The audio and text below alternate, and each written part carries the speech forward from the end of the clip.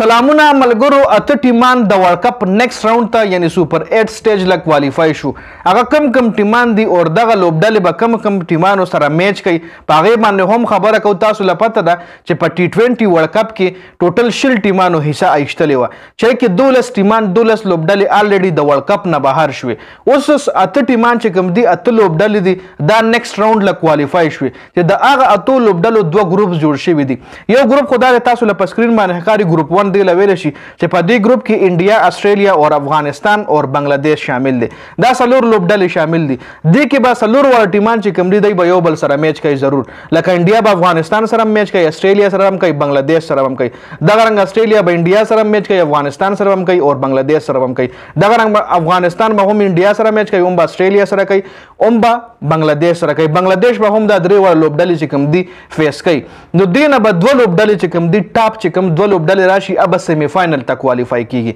د دې ګروپ نه جی دا ډومبنه ګروپ ته یو بل ګروپ هم جوړ دی اوس دا ګروپ چې کوم دی دا لک سخت ګروپ ته دی کې ټیمان چې کوم دي لک سخت ټیمان دي لکه افغانستان استرالیا انډیا لک ټف ټیمان دي بنگلاديش چې کوم دی دا راسي ټیم د چې کېدې شي د کرکټ هیڅ پته نه لګي لکه د چا خیال او خاطر کې هم نه راتله چې پاکستان به په ګروپ سټیج کې د ورلډ کپ نه بهر کیږي او بنگلاديش په دغه د ورلډ کپ نیکسټ راوند ته راوځي نو دا چې کوم دی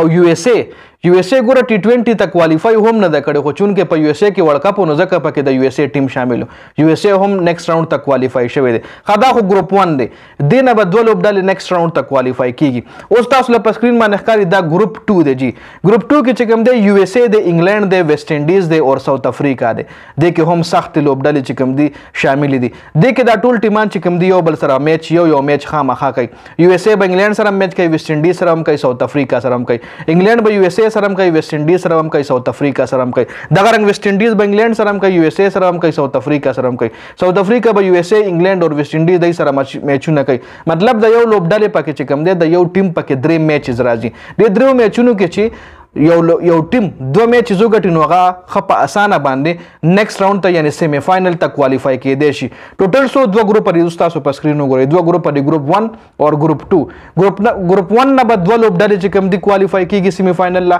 اور ګروپ 2 نه بد ولوب ډلې چې کم دي سیمی فائنل ته کوالیفای کیږي ټوټل سلور ټیمان چې کم دي اب سیمی فائنل ته کوالیفای کیږي بیا به سلور چې کم دي سلورو کې بد دوه بیا فائنل ته کوالیفای کیږي دا مکمل سیناریو ده تاسو له سکرین باندې خاري دواړه ګروپس جوړ دي جی ګروپ 1 اینڈ ګروپ 2 کپ تاسو چې په ګروپ 1 باندې نظر واچوي کې هم سخت ټیمان دي ګروپ 2 کې هم سخت ټیمان دي ګروپ 1 چې کوم دی ګروپ 2 سره میچ نشته دی او د ګروپ 2 ګروپ 1 سره په دې راوند کې میچ نشته دی ګروپ 1 کې چې څومره لوبډلې دی بخپلو کې میچونه کوي ګروپ 2 کې چې څومره لوبډلې لوبډلې دی بخپلو کې میچونه کوي دینه به یو ګروپ نه به دوه لوبډلې کوالیفای کیږي سیمی فائنل ته او بل ګروپ نه به دوه لوبډلې کوالیفای کیږي سیمی فائنل ته دا مکمل د سوپر 8 راوند چې کوم دی میچز دي کم ته کوالیفای کیږي دا به راتلونکي ټایم کې پته لګي کم ټیم ښه پرفارمنس کوي ښکاره خبره دا به کوالیفای کیږي دا مکمل معلوماتو د ویډیو کتلو زیاته مننه جی والسلام